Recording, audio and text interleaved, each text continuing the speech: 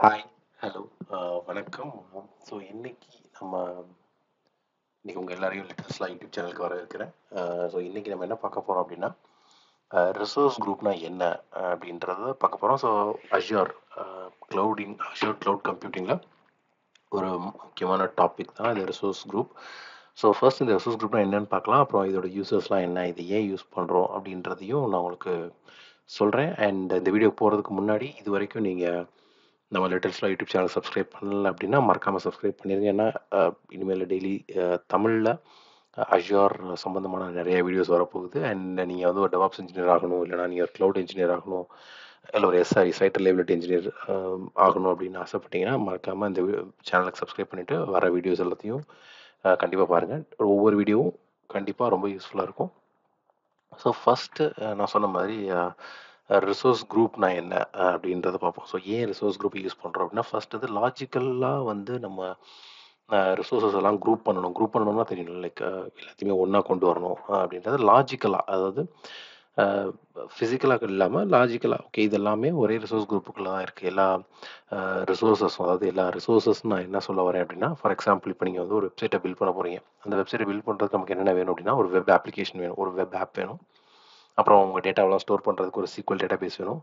அப்புறம் அந்த டேட்டாவெலாம் ஸ்டோர் பண்ணுறதுக்கு அப்புறம் இமேஜ் இமேஜஸ்லாம் ஸ்டோர் பண்ணுறதுக்கு ஒரு ஸ்டோரேஜ் அக்கௌண்ட் வேணும். ஸோ இது எல்லாத்தையுமே நம்ம என்ன பண்ணலாம் அப்படின்னா, ஒரு ரிசோர்ஸ் குரூப்பை கீழே கொண்டு வந்து, அந்த ரிசோர்ஸ் குரூப்புக்கு ஒரு நேம் வைக்கலாம். ஃபார் எக்ஸாம்பிள் ஒரு இ-காமர்ஸ் அப்ளிகேஷன் அப்படின்னு சொல்லி ஒரு நேம் வைக்கலாம் நீங்கள் ஸோ இப்படி வைக்கிறதுனால என்ன ஆகும் அப்படின்னா உங்களால் எல்லா ரிசோர்ஸோடையும் சேர்த்து ஒன்றா நீங்கள் ஒர்க் பண்ணலாம். அண்ட் இது எல்லாத்தையுமே நீங்கள் ஒரே டைமில் சப்போர்ட்டும் பண்ணலாம். ஸோ அது ஒரு எக்ஸாம்பிள். ஒரு ஒரு ரீசன். அண்ட் ரெண்டாவது ரீசன் என்ன அப்படின்னு பார்த்தீங்கன்னா, நீங்கள் எல்லாத்தையுமே மேனேஜ் பண்ணுறது கொஞ்சம் ஈஸி. ஸோ மேனேஜ் பண்ணுறதுனா எப்படி நான் சொல்கிறேன் அப்படின்னா, ஃபார் எக்ஸாம்பிள் ஒரு ரிசோர்ஸ் குரூப்புக்குள்ளே இருக்கிற ரிசோர்ஸஸை டெப்ளாய் பண்ணுறதா இருக்கட்டும், இல்லை அப்டேட் பண்ணுறதா இருக்கட்டும், இல்லை இல்லை டெலீட் பண்ணுறதா இருக்கட்டும், இது எல்லாத்தையுமே பார்த்தீங்கன்னா, நீங்கள் வந்து ஓவராலாக ஒரு மே ஈஸியாக நீங்கள் மேனேஜ் பண்ண முடியும். ஸோ ஃபார் எக்ஸாம்பிள் இப்போ நீங்கள் ஒரு வெப் அப்ளிகேஷனை டெப்ளை பண்ணிட்டீங்க. அது நல்லா போயிட்டுருக்கு. அதில் இருக்கிற ரிசோர்ஸஸ்லாம் நீங்கள் மானிட்டர் பண்ணணும். மானிட்டர் பண்ணணும் அப்படின்னா, ஃபார் எக்ஸாம்பிள் அப்ளிகேஷன் இன்சைட் அப்படின்னு சொல்லி ஒரு டூல் இருக்கு அஜூர்லேயே நான் அதை ஓப்பன் பண்ணி காட்டுறேன். So application insights GHT sorry GHTS அந்த இருக்குது ஸோ இந்த அப்ளிகேஷன் இன்சைட்ஸ்லாம் பார்த்தீங்க அப்படின்னா, ம் இதுல வந்து நீங்க எல்லா ரிசோர்ஸஸ் அதாவது அந்த ரிசோர்ஸ் குரூப் நான் சொன்னேன் பார்த்தீங்களா, அந்த ரிசோர்ஸ் குரூப்புக்குள்ள இருக்கிற எல்லா ரிசோர்ஸஸோட பெர்ஃபார்மன்ஸையும் நீங்க அ அட் அ டைம் ஒரே அ அப்ளிகேஷன் செட்ஸ்ல நீங்க பார்க்க முடியும். அ ரிசோர்ஸ் குரூப் லெவல்ல நீங்க பார்க்க முடியும். ஸோ அதுக்காக தான் வந்து அ இந்த செகண்ட் பாயிண்ட் என்ன அப்படின்னா, யூனிஃபைட் மேனேஜ்மென்ட் அப்படின்னு சொல்லுவோம். ஸோ அதுக்காகவும் நீங்க வந்து ரிசோர்ஸ் குரூப் யூஸ் பண்ணலாம். அண்ட் இதை தாண்டி வேறு என்னென்ன யூஸ் ஆகும் அப்படின்னா, like for example like okay again எப்படி ரிசோர்ஸ் குரூப்புக்கு போகணும் அப்படின்னு நான் சொல்லிடுறேன். ஸோ இந்த த்ரீ சாண்ட்விச் பட்டனை கிளிக் பண்ணுங்க. இது வந்து சாண்ட்விச் பட்டன் அப்படின்னு சொல்கிறாங்க ஸோ மூணு பட்டன் இருக்கிறதுனால. ஸோ இதை நீங்கள் கிளிக் பண்ணிவிட்டு டேஷ்போர்ட கிளிக் பண்ணீங்க அப்படின்னா, உங்களுக்கு சாரி அ கிளிக் பண்ணிவிட்டு ஹோம் கிளிக் பண்ணி அப்படின்னா, உங்களுக்கு ஹோம் எடுத்துகிட்டு போகும். ஸோ அங்கே வந்து ரிசோர்ஸ் குரூப் நான் அடிக்கடி யூஸ் பண்ணுறதுனால எனக்கு அது uh, ரீசெண்ட்டு இல்லை இல்ல கூட வரும். இன்கேஸ் நீங்கள் அதை வந்து ஃபேவரட் ஆக்கிக்கணும் அப்படின்னா கூட நீங்கள் இதை ஃபேவரட் ஆக்கிக்கலாம். ஸோ தட் எவ்ரி டைம் நீங்கள் வந்து ஃபேவரெட்டில் கூட எடுக்கலாம். ஸோ இப்போ நான் வந்து ரிசோர்ஸ் குரூப்பை ஓப்பன் பண்றேன். அண்ட் இதுல வந்து பார்த்தீங்கன்னா, ஓகே வேறு என்னென்னலாம் ஃபீச்சர்ஸ் இருக்கு. ஏன் ரிசோர்ஸ் குரூப் யூஸ் பண்றோம் அப்படின்னா, லைஃப் சைக்கிள் மேனேஜ்மெண்ட் அப்படின்னு சொல்லுவாங்க. ஃபார் எக்ஸாம்பிள் இப்போது இப்போ ஒரு இ காமர்ஸ் வெப்சைட் நீங்க கிரியேட் பண்ணியிருக்கீங்கல்ல. ஸோ ஃபஸ்ட் ஸ்டெப்ல நான் சொன்னது. அந்த இ-காமர்ஸ் வெப்சைட் நீங்கள் வந்து கிரியேட் பண்ணியிருக்கீங்க. ஸோ அந்த கம்ப்ளீட்டாக அந்த இ-காமர்ஸ் வெப்சைட்ட நீங்க வந்து டெலீட் பண்ணணும். இல்லை நீங்கள் நீங்க வந்து அதை அப்டேட் பண்ணணும் அப்படின்னா, நீங்கள் அது ஒன் பை ஒன்னாக ஒவ்வொரு ரிசோர்ஸஸாக அப்போ ஒவ்வொரு ரிசோர்ஸ் அதாவது ஃபார் எக்ஸாம்பிள் வெப் வெப் ஆப்பை அப்டேட் பண்ணுறதா இருக்கட்டும், இல்லை SQL டேட்டாபேஸ் அப்டேட் பண்ணுறதா இருக்கட்டும், இல்லை ஸ்டோரேஜ் கண்டெய்னர் அப்டேட் பண்ணுறதாகட்டும் இருக்கட்டும், இல்ல அதெல்லாம் டிலீட் பண்றதா இருக்கட்டும், இது எல்லாமே நீங்கள் ஒரு சிங்கிள் ஷாட்டில் ஒரு சிங்கிள் கிளிக்கில் நீங்கள் ஒரு ரிசோர்ஸ் குரூப் டெல் பண்ணி அப்படின்னா, ஆட்டோமேட்டிக்காக அதுக்குள்ளே இருக்க எல்லா ரிசோர்ஸும் டெலிட் ஆயிடும் ஸோ ஓவராலாக ஒரு லைஃப் சைக்கிள் மேனேஜ்மெண்ட் அதாவது நீங்கள் கிரியேட் பண்ணுறதுலேருந்து அப்டேட் பண்ணுறதுலேருந்து டெலீட் பண்ணுற வரைக்கும் நீங்கள் ரிசோர்ஸ் குரூப்பாக யூஸ் பண்ணும்போது அது உங்களுக்கு ரொம்ப யூஸ்ஃபுல்லாக இருக்கும்.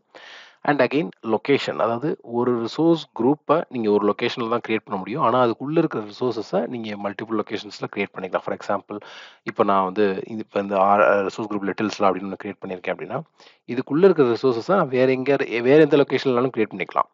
பட் இந்த ரிசோர்ஸ் குரூப்பை நான் கிரியேட் பண்ணணும்னா, அதை நான் ஒரு பர்ட்டிகுலர் லொக்கேஷனில் தான் கிரியேட் பண்ண முடியும். ஃபார் எக்ஸாம்பிள் இப்போ நான் உங்களுக்கு ஒரு ரிசோர்ஸ் குரூப் கிரியேட் பண்ணி காமிக்கிறேன்.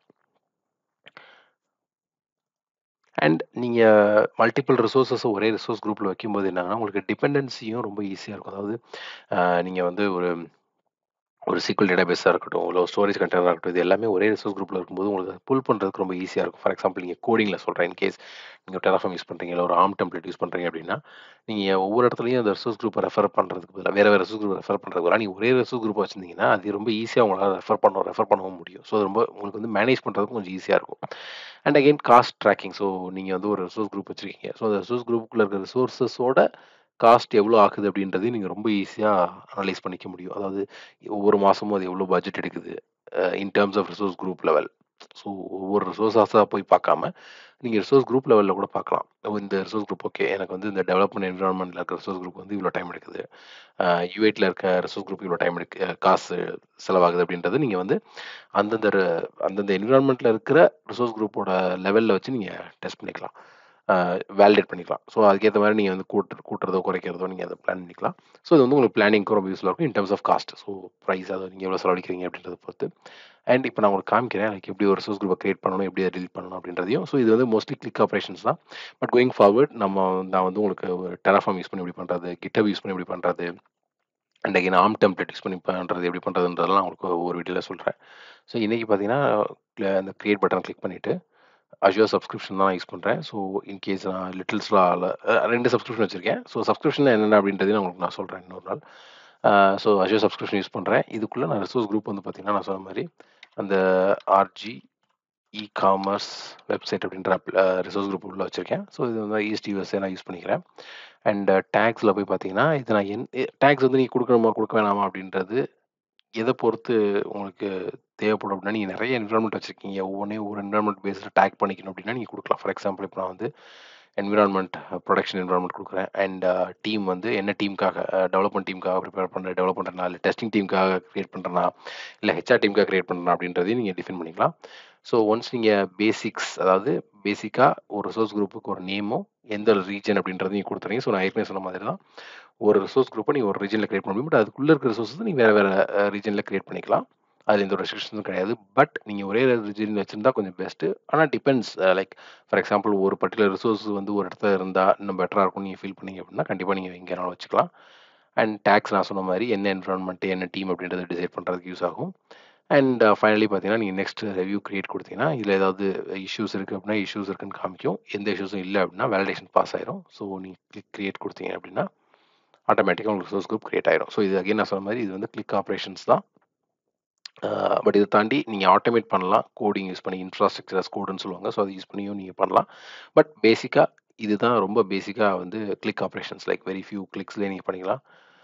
அண்ட் அகெயின் எப்படி டெலிட் பண்ணுறதுன்றதையும் காமிச்சிடறேன். ஸோ இந்த பர்டிகுலர் ரிசோர்ஸ் குரூப்பை நான் ஓப்பன் பண்ணிவிட்டு இங்கே டெலிட் ரிசோர்ஸ் குரூப்னு இருக்கும். ஸோ டெலிட் ரிசோர்ஸ் குரூப் கொடுத்துட்டிங்கன்னா இந்த ரிசோர்ஸ் குரூப்போட நேமை என்டர் பண்ண சொல்லும். ஸோ நான் அதை காப்பி பண்ணிவிட்டு இங்கே பேஸ்ட் பண்ணிடுறேன். கொடுத்துட்டு டெலிட் கொடுத்தேன் அப்படின்னா அந்த ரிசோர்ஸ் குரூப் கொஞ்சம் செகண்டில் டெலிட் ஆகிடும் ஸோ இட் டேக்ஸ் ஒரு சில டைம் எடுக்கும். கொஞ்சம் டைம் ஏன்னா அது வேறு ஒரு ரீஜனில் இருக்கிறதுனால இங்கேருந்து அந்த ரெக்வஸ்ட் போய் மறுபடியும் அங்கே அந்த ரிசோர்ஸ் குரூப் டெலிட் ஆகணும். ஸோ அது கொஞ்சம் டைம் எடுக்கும். அண்ட் அகைன் இப்போ நான் ரெஃப்ரெஷ் பண்ணி பார்த்தோன்னா உங்களுக்கு தெரிஞ்சிடும் இதெல்லாம் நான் க்ளோஸ் பண்ணிவிட்டு like let me refresh again and இந்த இந்த ரிசோர்ஸ் குரூப் எனக்கு தேவைப்படாது. அண்ட் அகைன் இது நீங்கள் போர்ட்டல்லே தாராளமாக ட்ரை பண்ணி பார்க்கலாம். ஏன்னா ரிசோர்ஸ் குரூப் கிரியேட் பண்ணுறதுக்கு உங்களுக்கு எந்த செலவும் ஆகாது. காசு எதுவும் எடுக்காது. பட் அதுக்குள்ள ரிசோர்ஸஸ் நீங்கள் கிரியேட் பண்ணிங்கன்னா ஒரு காசு எடுக்கும். பட் ரிசோர்ஸ் குரூப் அப்படின்றது ஜஸ்ட் ஒரு ஃபோல்டர் மாதிரி தான். ஒரு லேப்டாப்பில் நீங்கள் ஒரு ஃபோல்டர் கிரியேட் பண்ணுற மாதிரி தான். அதனால எந்த ஒரு காஸ்ட்டும் எடுக்காது. பட் இன்கேஸ் நீங்கள் ஒரு ஸ்டோரேஜ் கண்டெய்னரோ இல்லை ஒரு டிஃபெண்டர் மாதிரியான அப்ளிகேஷன் சாஃப்ட்வேர் யூஸ் பண்ணிங்கன்னா அதுக்கு உங்களுக்கு கண்டிப்பாக காஸ்ட் ஆகும். பட் ரிசோர்ஸ் குரூப் ரொம்ப பேசிக்கான விஷயம் தான் ஸோ நீங்கள் தாராளமாக க்ரியேட் பண்ணி ட்ரை பண்ணி பார்க்கலாம். ஏன்னா கோயிங் ஃபார்வர்ட் நம்ம வந்து டெராஃபார்ம் யூஸ் பண்ணி பண்ணுறது எப்படி ஆம் யூஸ் பண்ணி பண்ணுறது எப்படின்னு தான் பார்க்க போகிறோம் ஸோ கண்டிப்பாக அதுவும் உங்களுக்கு கொஞ்சம் ரொம்ப யூஸ்ஃபுல்லாக இருக்கும். அதனால் மறக்காமல் நம்ம சேனலில் சப்ஸ்கிரைப் பண்ணுங்கள் அண்ட் உங்களுக்கு ஏதாவது கொஷின்ஸ் இருந்துச்சு இன் டர்ம்ஸ் ஆஃப் க்ளவுட் இல்லை உங்களுக்கு ஏதாவது query இருந்துச்சுன்னா தாராளமாக நீங்கள் அந்த கமெண்ட் செக்ஷனில் கமெண்ட் பண்ணுங்கள் நம்ம அடுத்த வீடியோவில் பார்க்கலாம். இல்லை உங்களுக்கு வேறு ஏதாவது டாபிக்ஸ் கற்றுக்கணும் in terms of cloud in terms of டெவாப்ஸ்லாம் கற்றுக்கணும்னா அதை செஞ்சு நீங்கள் வந்து கமெண்ட் செக்ஷனில் கமெண்ட் பண்ணுங்கள் நம்ம அதையும் பார்க்கலாம். ஸோ அடுத்த வீடியோவில் உங்களை பார்க்குறேன். அது வரைக்கும் you. Uh, it's bye bye from Mr. and your favorite Little Star YouTube channel. Uh, take care and bye bye.